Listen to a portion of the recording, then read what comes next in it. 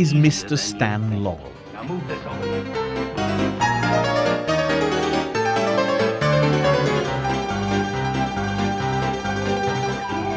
And this is Mr. Oliver Hardy.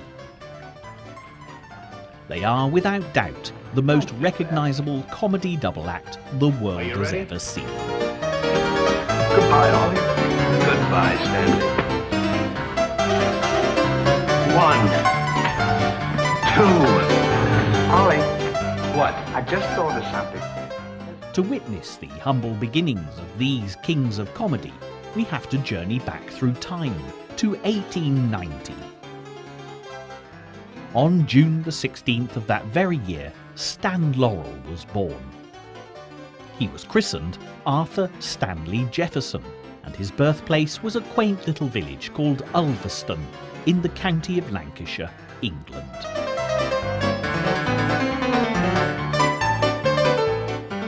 Visit there today, you'll find the world famous Laurel and Hardy Museum, packed to overflowing with a veritable cornucopia of memorabilia, photographs, and movie posters, all dedicated to these two gentle comic geniuses.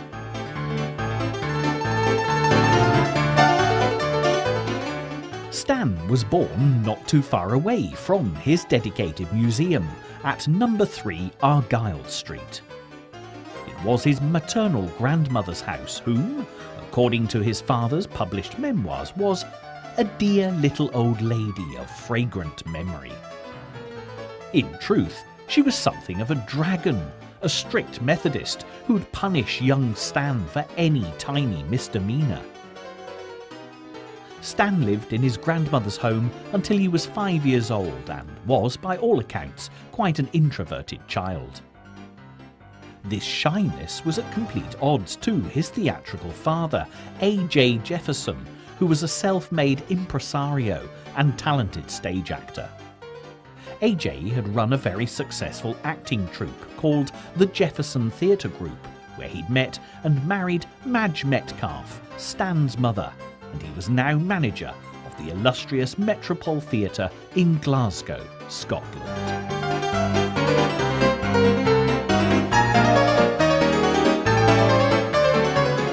Because Stan was never particularly interested in studying at school, in fact, many years later, in correspondence with friends, he stated that he was the worst scholar to attend school. His father encouraged him to spend time helping out at the theatre. Stan's love of the stage grew from here as he witnessed the first of many of his father's self penned comedy review shows.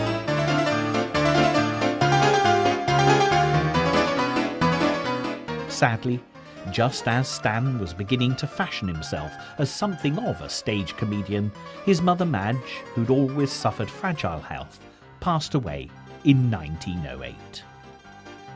It was an event that would push Stan on to pursue fame and fortune across the Atlantic Ocean in the land of opportunities. He was soon to be heading for the bright lights of America. Whilst all this was happening, the other half of the comedy duo to be was already doing his own thing in America. Oliver Hardy was born on January the 18th, 1892, in the festive town of Harlem, in the state of Georgia. He was the son of a grand lawyer, Oliver Hardy, and his wife, Emily Norvell. Their bouncing baby boy was christened Norvell Hardy in order to carry on both sides of the family heritage. Ollie would later add the Oliver to his name in memory of his father, who died a mere 18 months into his son's life. The parallels between Stan and Ollie at this time are very striking. Like Stan, Ollie lost a parent at an early age, and this would spur him on to leave his mark on the world too. Also, like Stan, Ollie was uprooted from his family home, as his mother moved the widowed family to the town of Milledgeville, where she managed the Baldwin Hotel. He was sent to a boarding school of sorts, the Georgia Military College, and rebelled against the stern nature of the teaching by becoming the class clown. In the same way as Stan would watch fascinated from the backstage of the Metropole Theatre, Ollie would sit in the lobby of the Baldwin Hotel and people watch to see what mannerisms and personalities he could mimic. Both of them were soaking up influences like a giant comedy sponge to be squeezed out later in life onto the silver screen.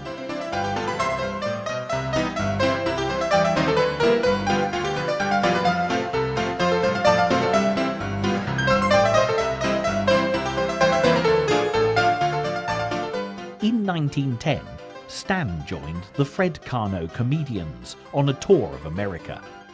Fred Karno was the archetypal self made showman, building an empire around him by channeling other people's talents into his spectacular shows. He also typified the perfect example of the thin line between comedy and tragedy, as all great comedy has a foothold in real tragedy. Whereas on stage, he brought delight to thousands with his pantomimes and popular farces. Off stage, he was a wife beater and a serial adulterer. Karno's biggest discovery was a young man called Charlie Chaplin. It was this comic genius that Stan was to understudy and learn from during this initial tour of America. The Fred Karno troupe set sail from Southampton docks and toured the USA with a show called A Night in an English Music Hall. It was a huge success, but even though he was earning plaudits for his comedy turns, Stan decided to return to England alone. His main motivation seemed to be twofold. Firstly, he felt he deserved a chance at being the top billing, and secondly, he felt he deserved more money. Ollie was still happily settled in America, and in the year Stan was touring his mother country, Ollie set up and ran a movie theatre in the heart of Milledgeville. At 18 years of age, he was the youngest manager of a cinema in the whole of the United States. It was watching these flickering comedy two-reelers that sowed the seeds of stardom in Ollie's head. And so it was in 1913 that Ollie set off for the bright sunshine of Florida to try to break into the movie business. He took with him his Jewish wife, whom he'd met and married in a whirlwind romance. Her name was Madeline Saloshin, and she was an accomplished piano player, allowing Ollie to indulge in his favourite pastime of singing. Shine on, shine on, harvest moon, up in the sky. I ain't had no loving since January, April, June, or July. Snow time ain't no time to stay outdoors and spoon. Shine on, shine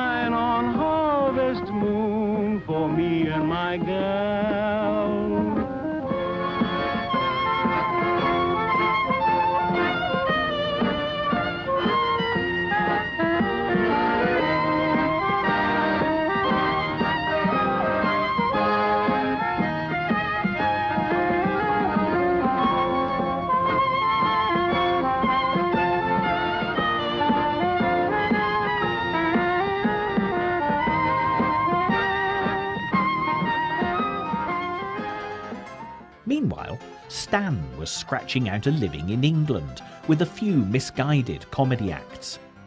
In the end, such was the extent of his poverty, he rejoined the Fred Karno comedians for another tour of America. Again, Charlie Chaplin was the acknowledged star of the show and gained all the praise from audiences and newspaper reviews.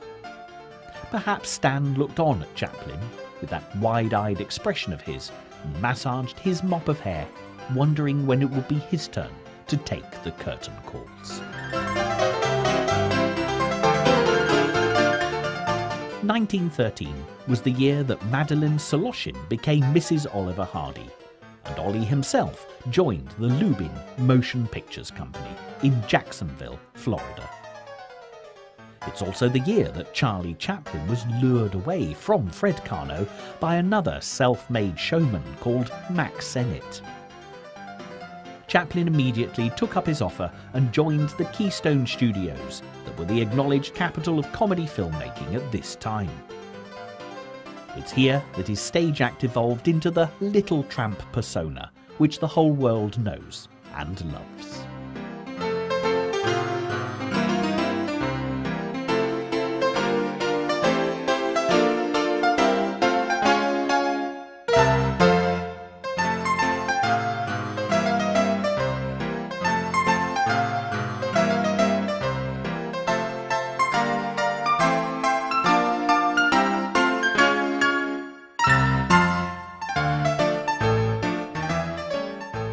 Of course, Chaplin's hasty exit meant that the Fred Karno tour quickly folded, and Stan was once more forced to scrape a living by setting up a comedy act of his own.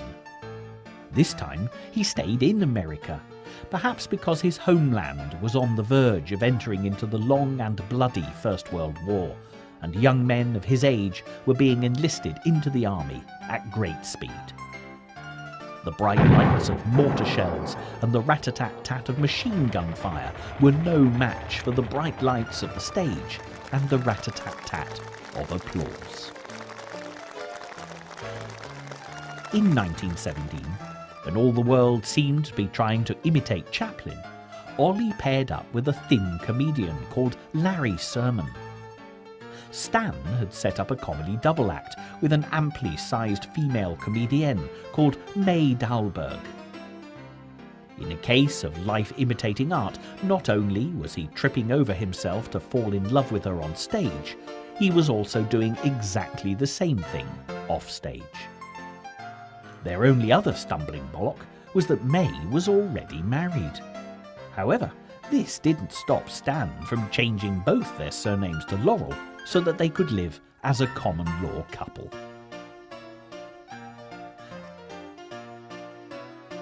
As we go through Stan's life, we'll see a pattern emerge as to his marriages repeating itself wife to wife in much the same way as he'd repeat his comedy situations by putting new slants on them. Stan's tentative steps into the movie business were less successful than his future partners. During his on and off stint in early comedy films, Stan could never find a character.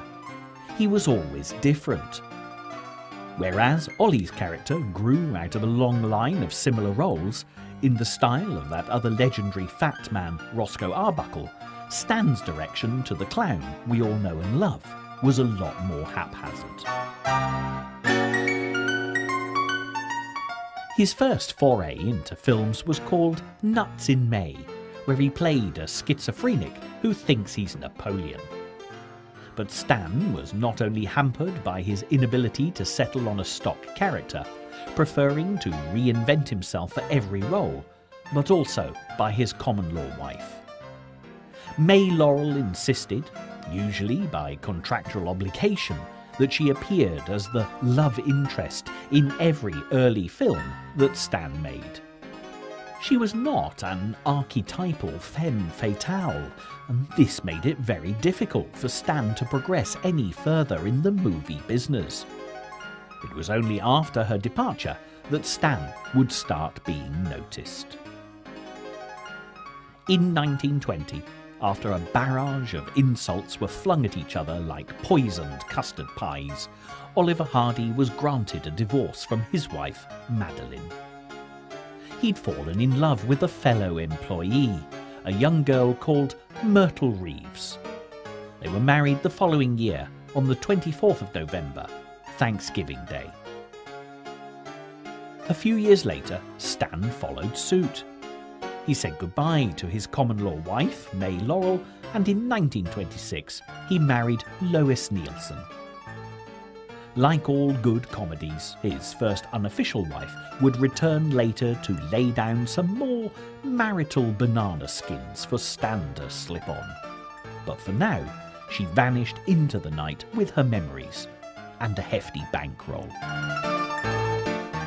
By this time, Stan and Ollie had been headhunted by the Hal Roach Studios and were working there as separate entities. Stan was primarily a writer and director, whilst Ollie was a supporting player. Yet it wasn't Hal Roach who teamed them up initially. This fell to a man named Leo McCarey, a two time Oscar winning director who started his career at the Hal Roach Studios. In doing so, he created a comedy double act that would continue to delight and entertain audiences to this day. By the time they started appearing in partnership, Stan Laurel was 37 and Oliver Hardy was 35. It was perhaps the lateness of this success that kept their feet on the ground and their egos in check. Leo McCarey proved to be a great influence on the Laurel and Hardy combination, for it was he who managed to slow down their comedy. Early comedies all took their cues from the ever popular Mack Sennett films, where everything was played at a hectic pace, jerky, speeded up chase sequences, over the top gestures, and exaggerated comic costumes were the order of the day.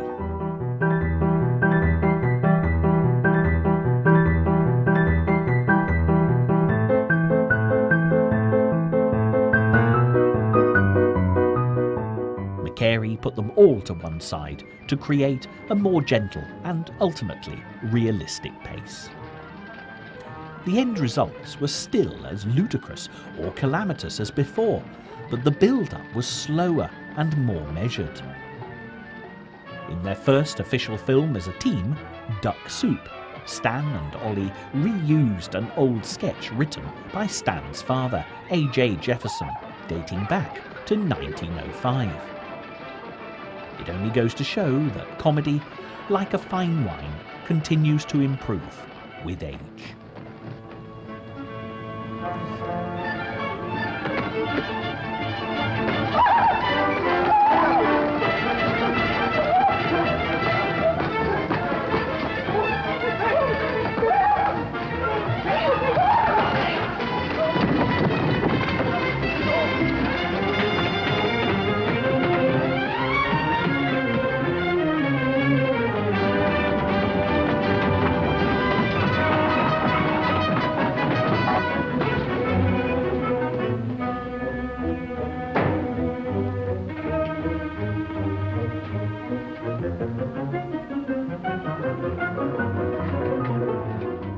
Stan Laurel and Oliver Hardy became a true comic partnership in 1927 and were an instant hit with the movie going public.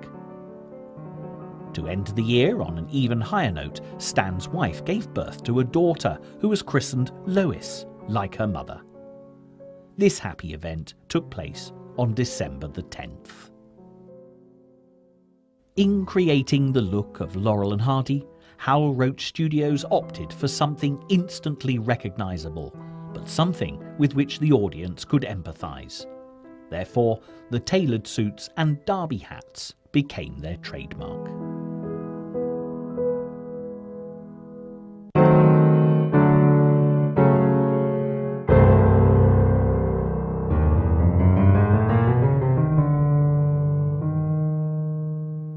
At the beginning of the century, for a long while afterwards, it was common for market traders and street vendors to wear this kind of upmarket clothing in order to try and appear respectable. The music halls of the United Kingdom and the vaudeville theatres of the United States spotted this habit and used it in their repertoire. It wasn't Chaplin, as many wrongly assume, who started the trend by appearing in this garb on the film. He was simply following on in a rich tradition that had stemmed from a theatrical background, in much the same way as Stan Laurel did. In order for the audience to identify with their characters, Stan and Ollie never played anything other than ordinary people in ordinary professions, making ordinary decisions. It's the way they portrayed it that created something extraordinary. At a time of Great Depression in the economic climate, to play the underdog was to have the majority of the audience automatically on your side.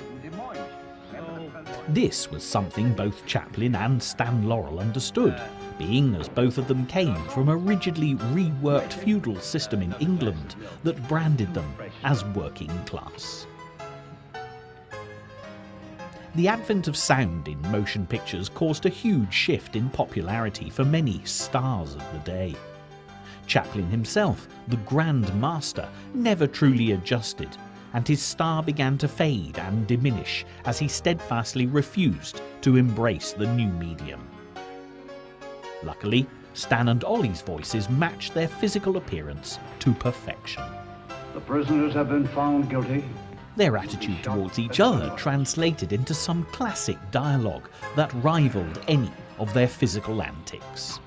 There's a nice pickle we're in. At the height of their popularity, Stan and Ollie were churning out film after film, a new release nearly every other month. But at what cost?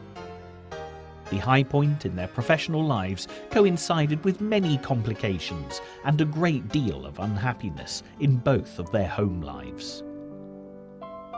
In 1930, Lois Laurel gave birth prematurely to a son, Stanley Robert Jefferson, who only lived for a mere nine days. Stan found solace in the arms of a long-term mistress called Alice Ardell. Ollie, on the other hand, had to deal with Myrtle Hardy's long and painful fight with the bottle. Her alcoholic addiction got so bad that in 1931 she was admitted to the Rosemead Lodge Sanatorium under the pretense of a nervous breakdown. Ollie found solace playing golf and gambling, but he also, like Stan, ended up in the arms of his own long-term mistress, Viola Morse.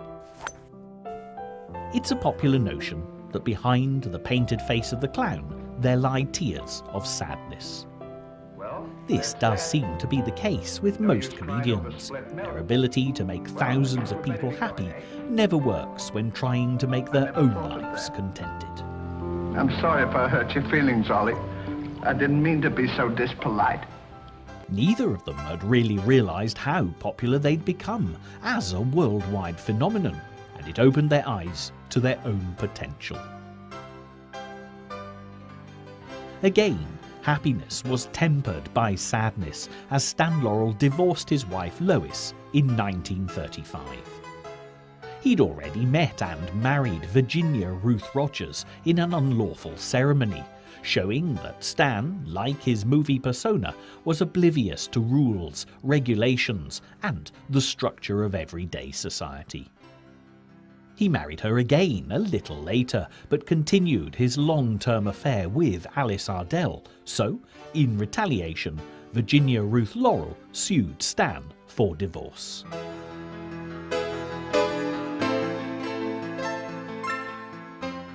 Then, whilst he was being sued for divorce, May Laurel, back from the wilderness and obviously running out of money, reappeared to sue Stan for property rights. She stated that a common law wife, although not legally married, was entitled to just as much as any other ex-wife. To make matters worse, Ollie was being sued by Myrtle Hardy for divorce and had to counter-sue by showing the truth of the matter, namely that his wife was a serious alcoholic. Stan's court affairs were eventually settled in 1936 and he was granted a divorce. Ollie was granted a divorce the following year.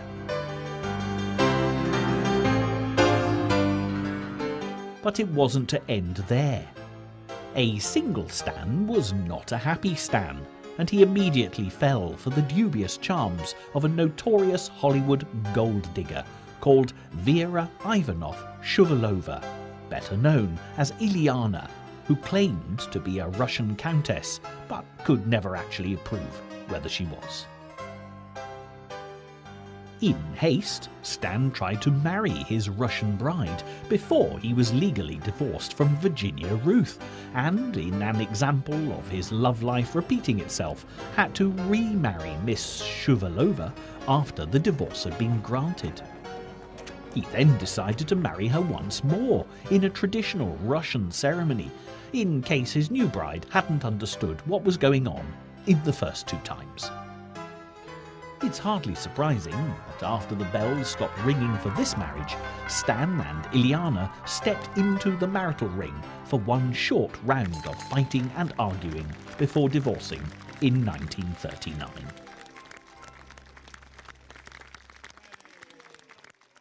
What is surprising, in hindsight, is that two genuine classic Laurel and Hardy films emerged from this period of strife. Sons of the Desert came first, showing the pair both married to dominant, overpowering mother figures rather than loving, caring wives. This was released just around the time that both of the boys' marriages were floundering.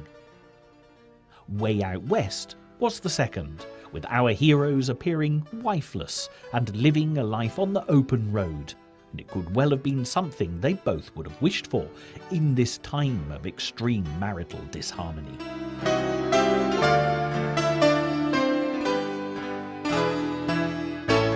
It's interesting to note that Stan and Ollie are almost prepubescent in their attitude towards their on screen wives, a total role reversal of their appetites off screen. They're also never portrayed as being happily married and are forever trying to keep secrets from and avoid being around their on screen spouses.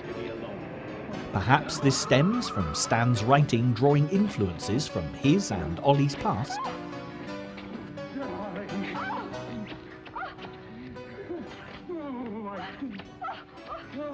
Stan had known nothing but domineering female figures from an early age, being punished by his strict grandmother for any innocent trouble he got into.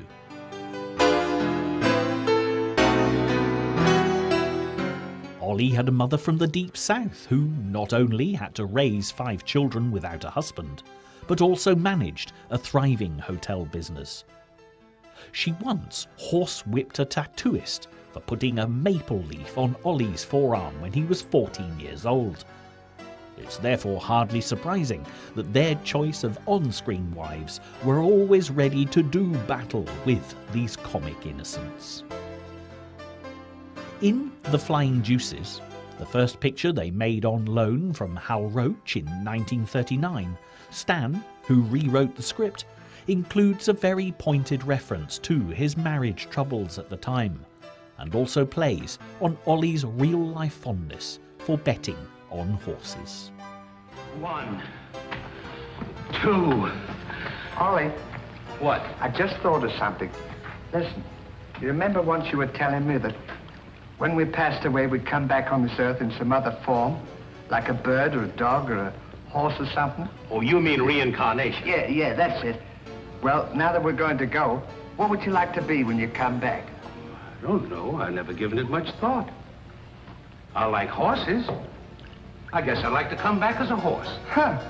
What would you like to be when you come back? Oh, I'd rather come back as myself. I always got along swell with me.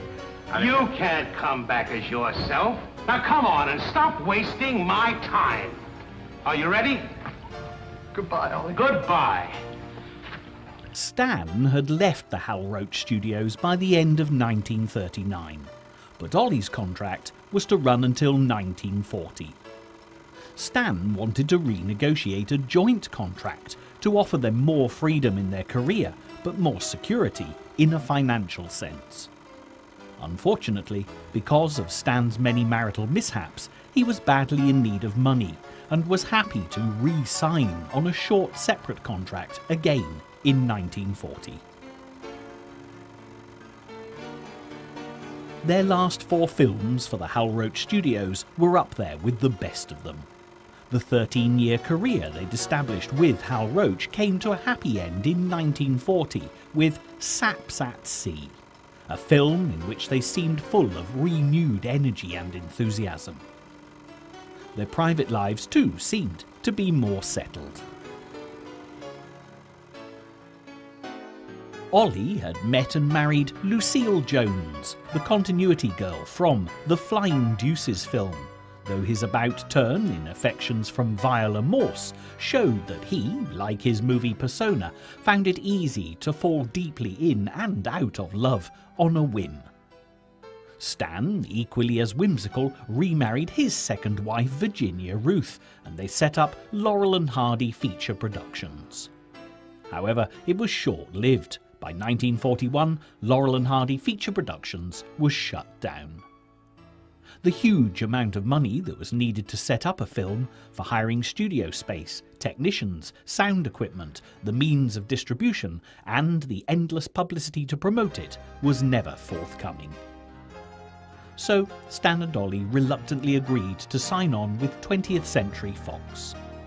Ollie was more eager than Stan to do this, as he was being chased by the IRS for back taxes, as well as being sued twice for non payment of alimony by his alcoholic ex wife, Myrtle. By now, the Eternal Clowns were beginning to show their age. As soon as they signed on for 20th Century Fox, their normal white faced makeup was replaced by a natural flesh tone that exposed every wrinkle and line. Clowns tend to rely on the flexibility and agility of youth to pull off their most complicated of routines. Sadly, by the time they'd gone through the motions in four films for their new employers, Stan Laurel was pushing 55 and Oliver Hardy was hard on his heels at a not so sprightly 53.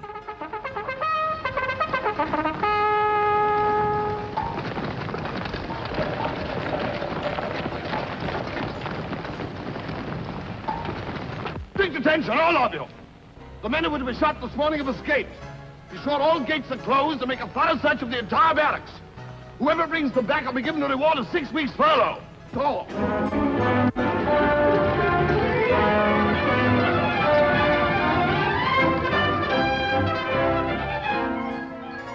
It seemed to Stan and Ollie that this was a good time to bring the curtain down and take their final bows.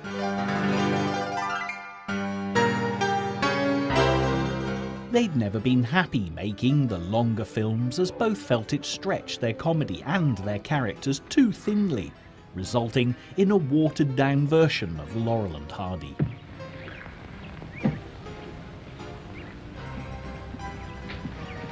On, get to work! What do you think this is? Within a year of taking enforced retirement, Stan had divorced Virginia Ruth Laurel again and married Ida Kitaeva. His love life would have made the most complex film plot of all and was ripe for a Laurel and Hardy makeover. But at last, he'd found someone to grow old with, a wife who would care for and cherish him just as he'd always wanted. In 1947, British impresario Bernard Delfont, a sort of English version of Hal Roach, invited the boys over to tour the music halls of Great Britain with a revue show. Recalling the applause and the adulation from their last tour overseas, they both jumped at the chance to entertain the crowds again, especially ones who'd just spent six long years attempting to survive the grim realities of a Second World War.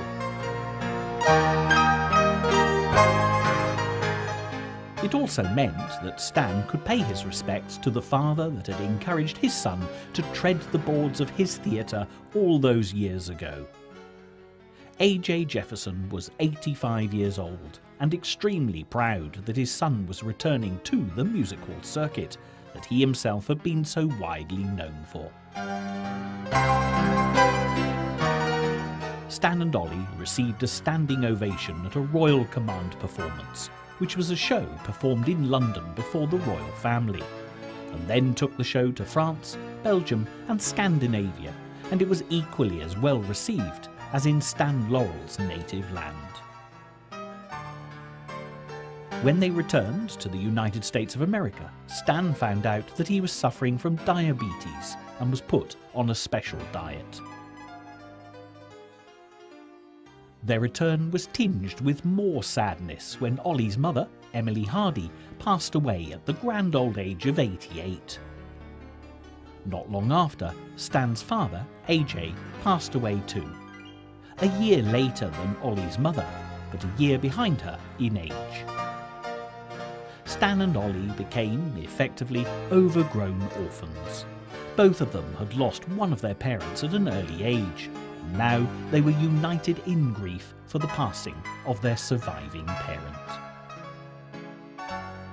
Resigned to living out the rest of their lives with fading memories of their illustrious movie careers, Stan and Ollie were surprised to receive an offer of a French Italian co financed film that would shoot for a couple of months on the French Riviera.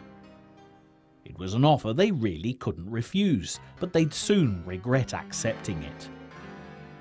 Upon arriving, they found there was no working script, and Stan had to quickly cobble something together with two American writers.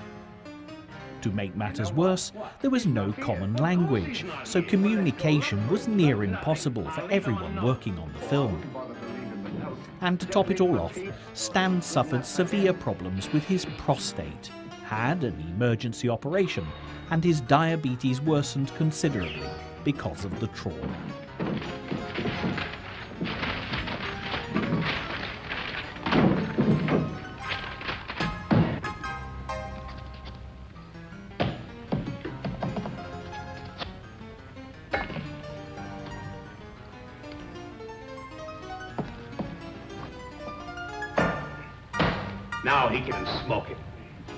Maybe he doesn't smoke a pipe. Well, whatever, he smokes it.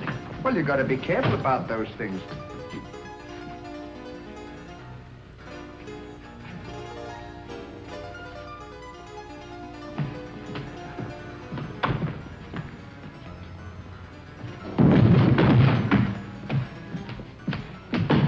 He had to have a permanent medical team on set with him at all times. Ollie's weight had ballooned to a massive 20 stone, whereas Stan's had shrunk to a skeletal 8 stone. But again, the offers flooded in, and they accepted another tour of Great Britain's music halls in 1952. It was such a success that a second tour took place in 1953, in which they began their dates in Ireland, as Ollie's working visa only permitted him to enter Great Britain via the Emerald Isle. They docked in a tiny fishing village, and thousands of people flocked to see them embark. Then all of the church bells started ringing out their theme tune, the Cuckoo Song. Stan and Ollie freely admitted that they both had tears streaming down their faces. The public at large still loved these two aged clowns, and it was an affection that would never die. But mortality has a way of pricking the conscience of legend. Ollie had a mild heart attack during this second tour and was ordered to return home and lose weight. His weight had been a constant worry to him all through his life. In later letters to John McCabe, official biographer of Laurel and Hardy, Lucille Hardy would relate her husband's self-loathing for his ample girth and his surprise that his wife would be able to love such a person. Around the time that Stan and Ollie returned to America, there was an increasing popularity building for them in the younger generation, as their earlier films were shown again and again on the relatively new medium of television. Small children in particular loved them.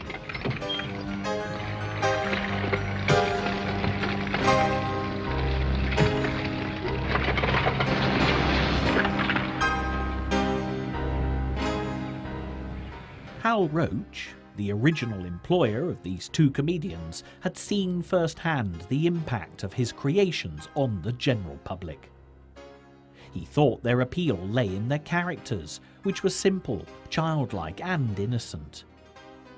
It's said that the best visual comedians imitate children, and nobody could do this as well as Laurel and Hardy, and yet still be believable. In late 1954, Stan and Ollie were taken by surprise on the perennially popular This Is Your Life show, whilst on a visit to Bernard Delfont, their friend and recent employer from England. To begin with, they look totally bewildered and very confused with what is going on as the cameras burst into Bernard Delfont's room at the Knickerbocker Hotel in Hollywood, and they are told to get to the studios at once. Being a live show, Ralph Edwards, the host, had to ad lib like mad as Stan and Ollie took their time getting to the studio. I said I can go. They're here? Oh, thank goodness, because that was my last ad lib. Here they come now, our two principal subjects, Stan Laurel and Oliver Hardy. I think I have been told. Oh my! This is more than a two-reeler. Here they come. Stan disliked appearing for free on anything. His financial complications worried him greatly because of his marital mayhem in the past.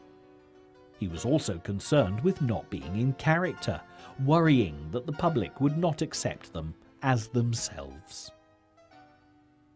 The usual cavalcade of past acquaintances were trotted out before they were reunited with their wives at the very end of the programme.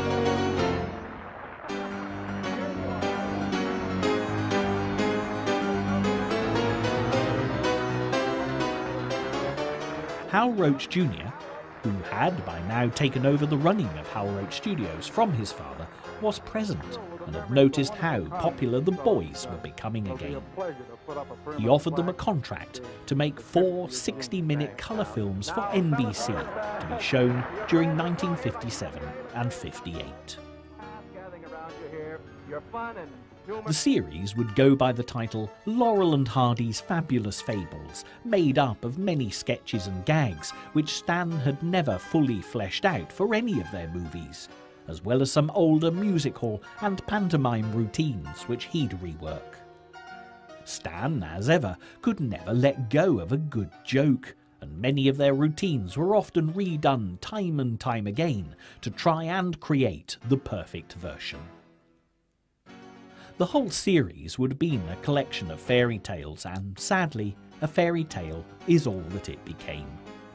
Before shooting began, Stan had a mild stroke, which put a final, the end, on their careers.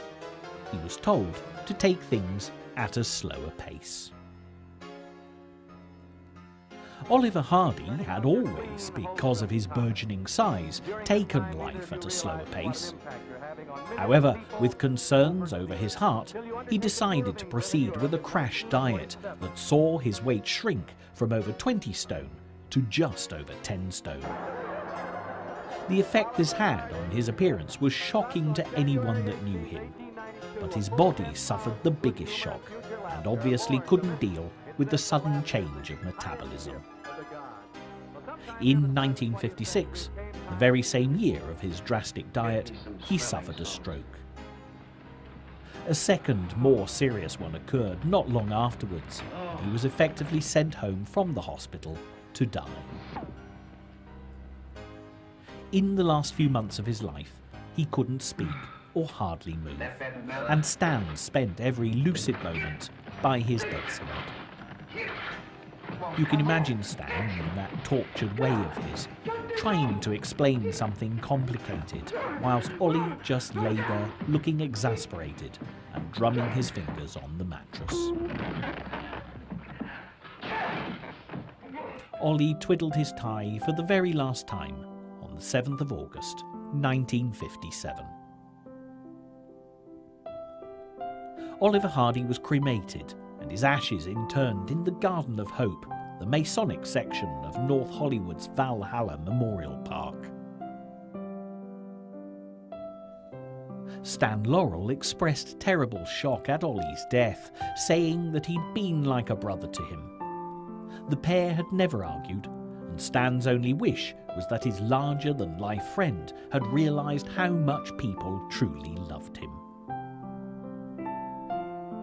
Stan and Ida Laurel moved to the Oceana Apartment Hotel in Santa Monica and lived in humble seclusion. Stan had always been a modest man, and he was astounded by the amount of fan mail that poured through his door.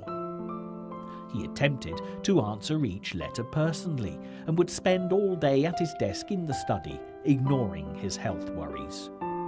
He would take breaks if there was a Laurel and Hardy movie showing on the television and continually commented on what a funny fellow Ollie was.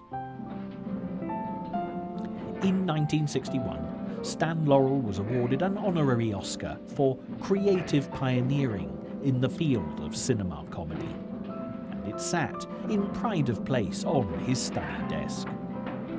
Knowing Stan, he probably used it as a paperweight for all the fan letters. During his last few years of contentment, he received visits from many famous comedians of the day, all wanting to pay tribute to their unofficial teacher. Put that thing down! Danny Kaye, Peter Sellers, Jerry Lewis, and Dick Van Dyke would all regularly worship at the altar of England's Lancastrian son. Dick Van Dyke tells a tale of being desperate to meet his idol and couldn't find out from anyone in show business where he lived. He happened to flick through the telephone directory, and Stan, like any other person, was listed. It amazed Dick Van Dyke that someone he held in such awe could be so down to earth and ordinary. In 1965, Stan suffered a heart attack and was confined to his bed. Stan informed the nurse looking after him that he'd rather be skiing. She, surprised, asked him if he skied. He, with characteristic wit, replied that he didn't, but he'd rather ski than die. Well, here's another nice mess you've gotten me into. He passed away a few minutes later, joking to the last. Is that really you?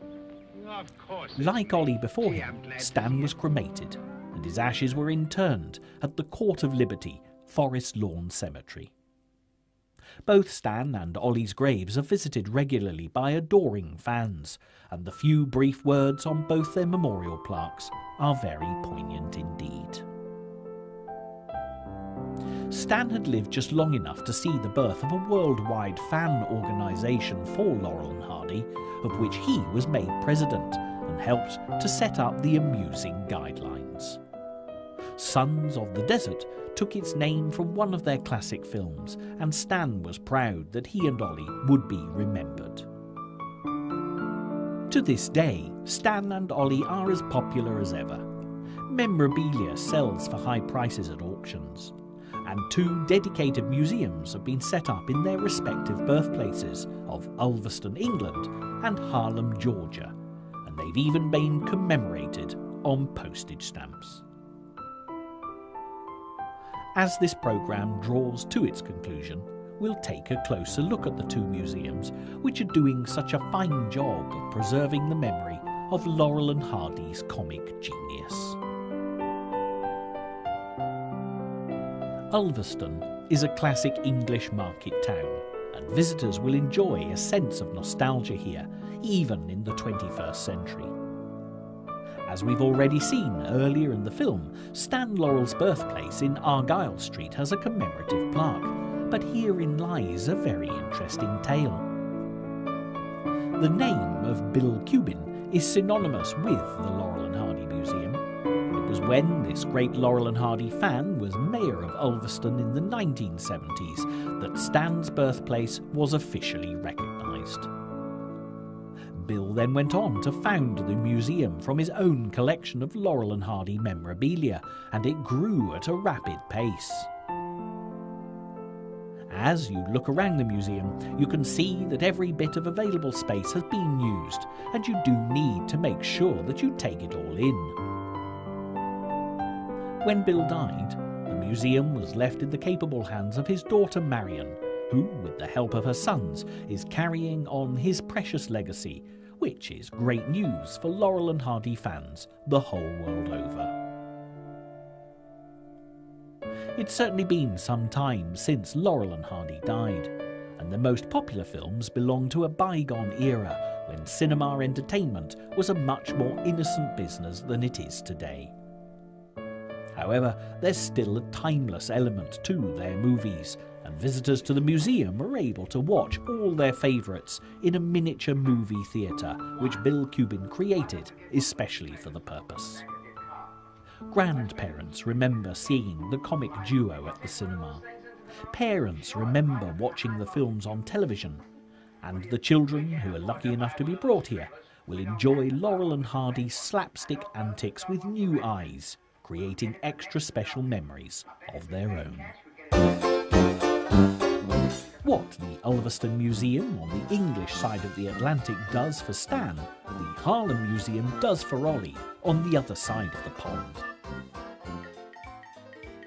Harlem, Georgia was founded in 1870 and was named by a New Yorker visiting the town who thought it resembled that more famous Harlem of his birthplace. Sadly, you won't locate Oliver Hardy's birthplace because it was demolished in the late 1950s. But don't let that deter you, as the wonderful Laurel and Hardy Museum of Harlem certainly makes up for it. This is a delightful work in progress, where, just like its English counterpart, exhibits are expanding on a daily basis as memorabilia floods in from all over the world. Just as Bill Cubbin created a truly atmospheric small cinema to screen Laurel and Hardy classics at Ulverston, the museum in Harlem has provided a movie theatre for its visitors too. Although the memorabilia is wonderful, and knowing the real men beneath the derby hats is an added bonus. It's the movies that really show the magic of Laurel and Hardy, cutting across age and cultural barriers to bring pleasure to one and all. Laurel and Hardy are truly adored by people of all ages, from 8 to 80, and this is mainly because the love they put into their comedy really did shine through. Other famous comedians such as Charlie Chaplin and Buster Keaton were always proud to show their technical brilliance and expertise on the silver screen. The audience would laugh, but also be thinking how clever the performers were. And in doing this, the audience was kept at a distance.